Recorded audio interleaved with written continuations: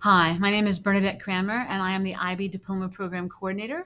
And I've made this video for you this evening so that you could have an understanding about some of the changes that we're doing to our master schedule to make sure that we have classes as accessible as possible to as many students as possible at Granite Bay High School. So these are some changes that we've already done for this year, but we've got even more changes for next year, and I just want to be clear about that. So first up, is that uh, all courses are now part of Granite Bay High School's 4x4. So previously we had some students blocked, like chemistry, psych, uh, history, English, uh, visual art, and students would take those over the entire school year from August until May, and it would be blocked with another course. That locks students into taking certain classes or locks students out of taking certain classes, and so we have unblocked all of the classes.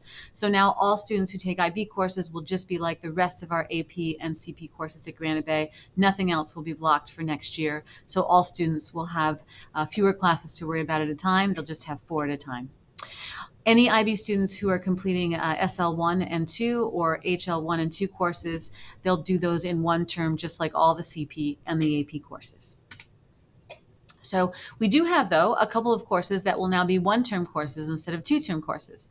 So our IB World Religions SL class and our IB Business Management SL class used to have a class in the fall and the spring, and now it will just be one class, either the fall or the spring all of our other courses will still continue to have an SL1 and 2 or an HL1 and 2. But these two will open up your schedule because if you were interested in world religions or business management, it would just take half the year instead of the whole year. We're also co-seating AP US History and History of the Americas HL1. We started that this year uh, and we're continuing it next year. And this means that there are many more class periods available for History of the Americas HL1.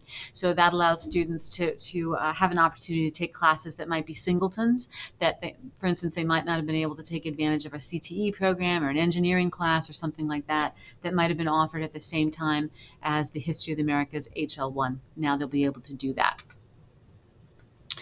Both our IB Visual Art HL and IB Chemistry HL class uh, has a little bit of different schedule than the rest of our classes. The HL2 courses will be in the fall. The HL1 classes will be in the spring. And we do that so that the visual art students have more time to complete their their uh, works, their process portfolio, their comparative study, because those have to be turned in starting in March. And that way, if they do them in the fall, they'll be completed long before then. And same thing with chemistry HL2. They've got experiments to do, so they need more time for that lab work. And so they'll have that all done long before the deadline comes to turn it in. We'll have IB exam review sessions just like we do for many AP classes here at Granite Bay. So if a student has an HL2 course in the fall, they'll have review sessions in April or May to prepare for exams. And we'll also do the same thing for anyone taking world religions and business management classes in the fall. They can attend review sessions in the spring. We're also adding another science HL course. So previously we only had chemistry as an HL higher level course, but starting next year we will have IB sports, exercise, and health science as an HL as well as an SL. Uh, HL1 and 2 will both be offered next year, and that means that if a student is not a diploma program candidate, which is the one the students who are taking all seven classes over the two years.